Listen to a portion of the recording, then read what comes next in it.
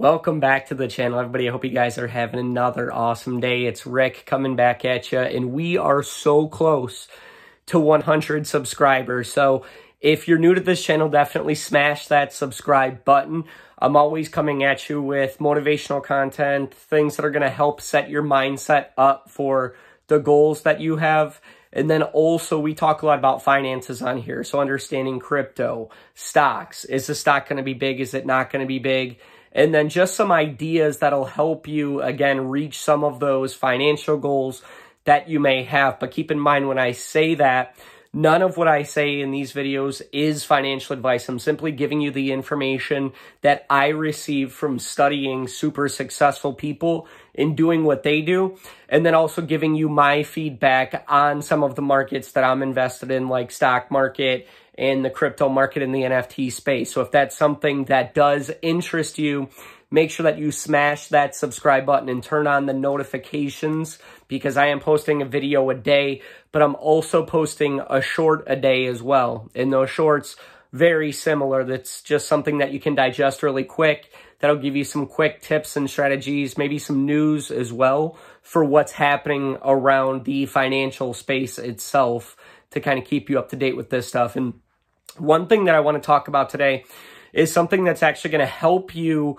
to keep track of your goals, but keep your goals believable.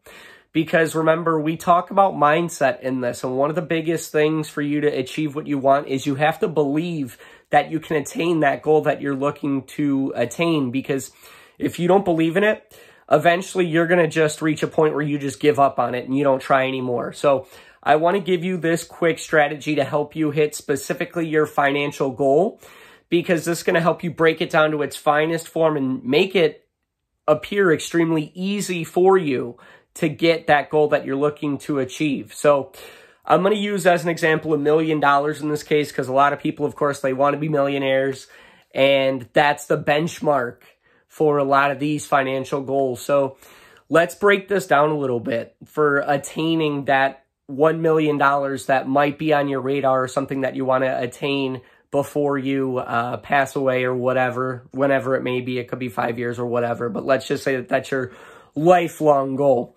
So what you want to do is you want to break this goal down in what I coin as a baseball analogy. So it doesn't matter where you start, it's about where you're going. So let's break this down in a baseball analogy.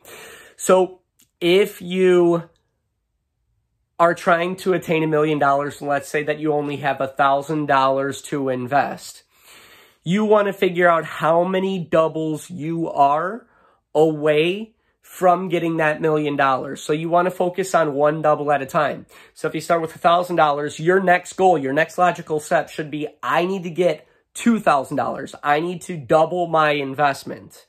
So you're not focused on the million dollars. What you're focused on is how can I double this money right now? That's my next goal is I'm going to invest to double this.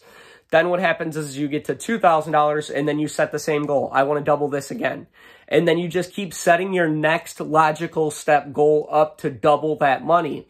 But when you break all this down, because you have to have a game plan at the end of the day, how many doubles is it going to take based on where you're starting to get to that million dollar goal that you have or that $100,000 goal that you have or whatever the case may be. So break it down in this baseball analogy because it's going to give you something to focus on in the short term. So instead of you going, I want to be a millionaire, but I don't know the first thing about getting there, you don't have to worry about that. You just focus on your next logical step, which is doubling the investment that you initially put in. And if you do that, what you'll start to find out is that making million dollars really isn't that hard because all you're doing is just doubling your investment over time.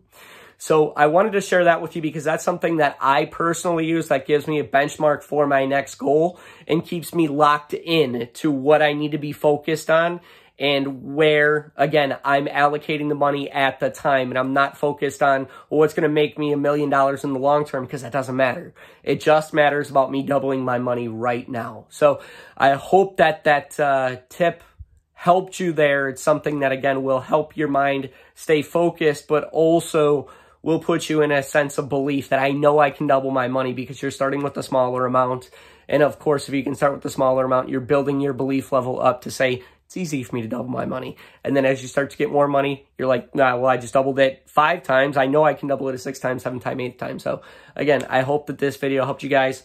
Um, again, very, very close to 100 subscribers. So if this is content that's helping you guys out and you're getting value out of it, definitely smash that subscribe button like this video, and then of course turn on that bell notification so that you can be notified every single time I post new video with tips, uh, strategies, things that are going to help you condition your brain, your body, and your habits to get those goals that you have. So again, I hope you guys have a fantastic rest of your day and take care.